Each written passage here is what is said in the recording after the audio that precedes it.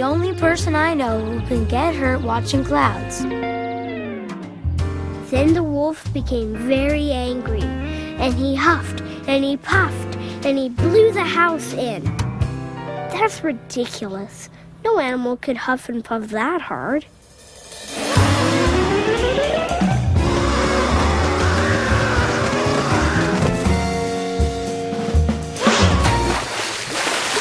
Have you ever read The Three Little Pigs?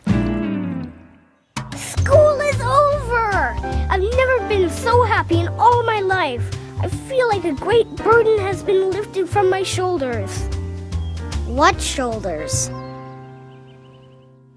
Wouldn't it be fun to go on a camping trip? And get bitten by a queen snake? Not your life. Those queen snakes crawl right into your tent and chomp you. The woods are full of them this time of year. Stay out of the woods. Those queen snakes don't care what they do to you. Stay out of the woods. That's my motto.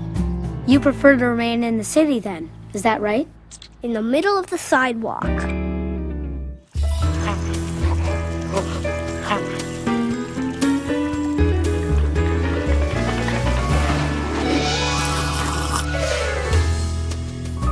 Guess what, Snoopy?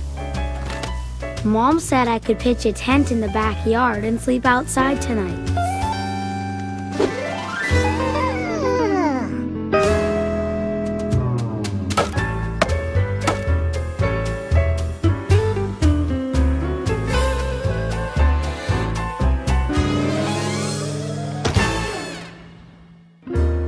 Tomorrow is the 4th of July.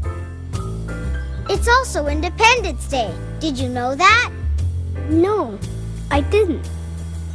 This is one of those years when they both fall on the same day.